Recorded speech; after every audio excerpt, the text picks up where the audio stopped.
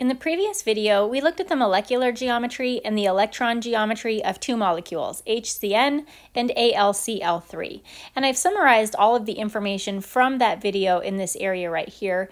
The number of areas of electrons around the central atom for each molecule, the bond angle that allows those bonds to get as far apart from each other as possible, and the name that we give to the geometry, both molecular and electron, for both of these types of molecules. We're now going to continue doing the same thing for three additional molecules. We'll be starting with CH2F2. So first we're going to fill in the number of areas of electrons for this molecule, and if you recall, to do that we focus on the central atom, which is carbon. We ignore all of the outer atoms, and then we just ask ourselves how many areas of electrons are around that central carbon atom. These areas of electrons could either be bonds or they could be lone pairs. This carbon atom has four areas of electrons around it. We now want to ask ourselves what is the largest possible bond angle or angle between any two single bonds in this molecule that would allow these negatively charged electrons to spread as far apart as possible. The way this molecule is drawn, it appears as though this angle is 90 degrees. And if the molecule were required to be flat to stay in, in one flat plane, it is true that this angle would be 90 degrees. But because this molecule is able to spread out in three dimensions, we can actually get those um, bonds to be a little bit further apart. So what we're going to do is go back to MolView. We're going to take a look at this particular molecule, CH2F2. In this, I already have it um, drawn in MolView. In this representation, the gray in the center is the carbon atom, the green are the fluorine atoms, and the white is the hydrogen atom. And the way I have the three-dimensional um, model shown right now, it does look like we have a 90 degree angle between the bonds, all the bonds in this molecule. But as I rotate it, you will see that this molecule is not flat, so the bond angle is in fact not 90. It's not stuck in a flat shape. It does have this interesting three-dimensional shape to it. And this particular shape has a bond angle of 109.5. That's kind of difficult to gauge when you're just looking at the model. Um, so you will maybe just have to kind of take my word for it that the bond angle is 109.5 in this molecule. It's just a little bit larger than 90 degrees. The name that chemists give to this particular type of shape or geometry is called tetrahedral. And if you recall, the only difference between molecular geometry and electron geometry has to do with whether or not the molecule has lone pairs on the central atom. We haven't encountered any examples of that yet in any of these videos. They, we will in a future video. But when there are no lone pairs on the central atom, like in this case and all of the examples we've seen so far, the molecular geometry and electron geometry have the same name. So the last thing that we want to do with this molecule, which is something that we did not do in the previous video, is come up with a way to draw this particular shape that shows the actual three-dimensional positioning of the atoms in this particular molecule. For the previous molecules that we looked at in the last video, these molecules were planar, they were flat, they didn't have three dimensions to them. So the way that we draw them in their Lewis structure is an accurate representation of their three dimension shape. But for this particular molecule, the way that we draw the Lewis structure, it implies that we have 90 degree bond angles and that the molecule is flat. We can see that it is not.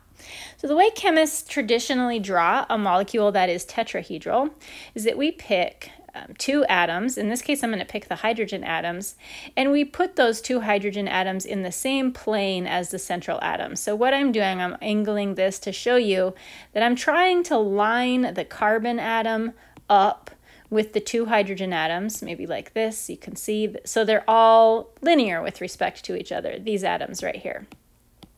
And we hold the molecule so that the hydrogen atom, the carbon atom, and the other hydrogen atom are all flat. Like if you laid them down on your desk, they would just be sitting there flat.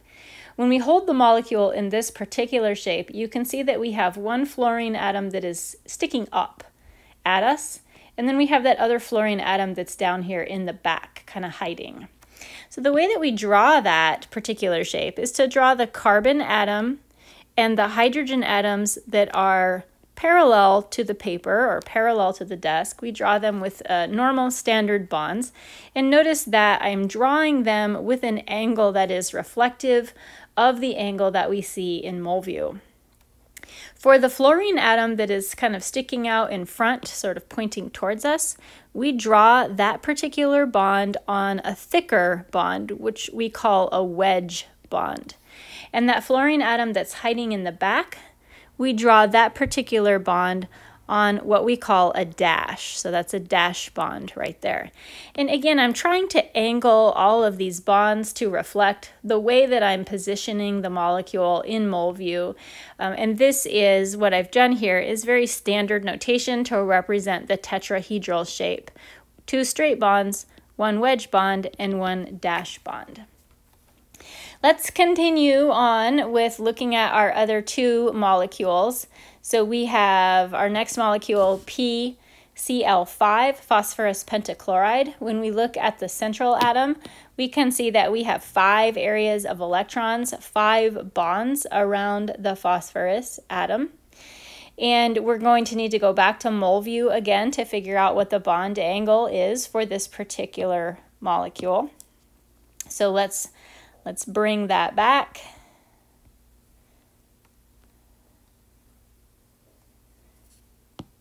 And I'm going to put the phosphorus in the center.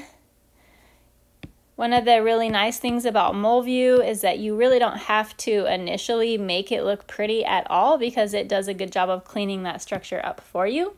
Remember that this is a software that's available to anybody, so I encourage you to just access it. You don't have to download anything, you just access it directly from the internet in your browser and you can build whatever molecules you would like. So here's the PCl5 molecule and you can see it's an interesting shape. There are two chlorine atoms. Right now I'm trying to kind of eclipse them. There are these two chlorine atoms that are kind of linear, like the chlorine, the, the green chlorine to the orange phosphorus to the other green chlorine makes like a nice linear shape. And then the other three chlorine atoms are sticking out in the center in kind of a trigonal planar shape. And so it's almost like it has an axis with that top and bottom chlorine, and those three chlorine atoms kind of move around it. This particular ge geometry actually has two different bond angles to it. If we look at it from this perspective, you can see that there is a 120 degree bond angle between the phosphorus atoms and uh, the excuse me the the chlorine phosphorus bonds 120 degree bond angle if you look at it from this perspective no matter how we turn it around, so it's not an optical illusion, there is a 90 degree bond angle. There's a really good view of that 90 degree bond angle. So we have two different bond angles in this particular geometry, which is slightly unique. This particular geometry, molecular geometry as well as electron geometry, is called trigonal bipyramidal. Trigonal bipyramidal. So the name implies that there are two pyramid shapes that have a triangle base. And when I look at when I hold it this way, you can see there's the triangle base. And then when I turn it up this way, if you can imagine the chlorine on the top and the bottom sort of being points of the pyramid, we have one pyramid sticking up and one pyramid sticking down. And again, when we have no lone pairs on the central atom, the geometry for the uh, molecular geometry as well as the electron geometry are identical. So how can we draw this three-dimensionally? Again, it's standard with chemists to pick a few bonds to hold them in the plane of the paper. And so for this particular molecule, I'm going to put the phosphorus, which is in the center, in the plane of the paper, and the chlorine atoms that are on the top and the bottom, the ones that I'm kind of eclipsing right now, we'll have those be in the plane of the paper as well, and those ones are always drawn with a straight line. The chlorine atom that is sticking off to the left, that one is also going to be in the plane of the paper. So all of those have straight line bonds to indicate that they are all in the same parallel plane. When we hold it in this configuration, we can see that we have one chlorine atom that is kind of sticking up at us, and that's the one that we put on the wedge shape. And then we have that other chlorine atom that's hiding in the back, and that's the one that goes onto the dashed shape. And so this would be the three-dimensional drawing for a trigonal bipyramidal molecule. We have one molecule left, and that is SF6, sulfur hexafluoride. So starting with areas of electrons, when we just focus on the sulfur, how many areas of electrons or how many bonds do we have on that sulfur? We can see that there are six bonds on that sulfur atom.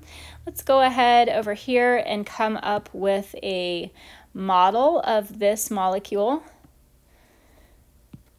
So we have our sulfur in the middle, and we're going to put the six fluorine atoms around it. And then we'll go ahead and convert that into a three-dimensional drawing. And here we have it.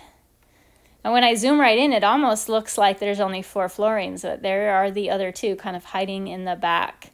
So first thing that we're looking for is what are the bond angles? If we look at it from this perspective, those are some nice 90 degree bond angles right there. We can see those 90 degree bond angles. And if we look at it, let's say from this perspective, there's some more 90 degree bonds. And in fact, any way that we turn this molecule, all that we're going to see are 90 degree angles. So every position that we turn this in, we're going to end up with 90 degree angles. And again, I do encourage you to go to this website and build these models yourself so that you can control the rotation of these of these molecules and kind of visualize the shapes for yourself.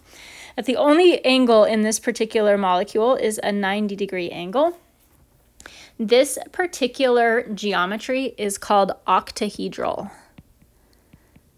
It is octahedral molecular geometry as well as octahedral electron geometry. In the next video, we're actually going to have an opportunity to look at molecules that are different in terms of their molecular geometry and electron geometry. Now, last but not least, in, in terms of drawing this molecule three-dimensionally, there are a couple of different ways in which chemists choose to draw the octahedral geometry. The way that I like to do it is to set the molecule up so that the top and bottom fluorine, in this particular case, are all in a straight line like this. So I want my sulfur and my top and bottom fluorine to all be in a nice straight line. And I'll draw those ones first. And when I do this, I can see that I have two fluorine atoms that are sticking up at me. One of them is to the left and the other is to the right. And those are going to be on these thick wedgie bonds. So I have a fluorine sticking up to the left and also to the right. And then in the back, I've got those two fluorines hiding, one to the left and one to the right. And so these are now this um, this whole page of notes. This summarizes for all areas of electron density that we'll encounter in general chemistry. When there are no lone pairs at all on the central atom, here's a good reference of all of the bond angles, the names of the molecular and electron geometry, and all of the ways in which we would represent these molecules three-dimensionally.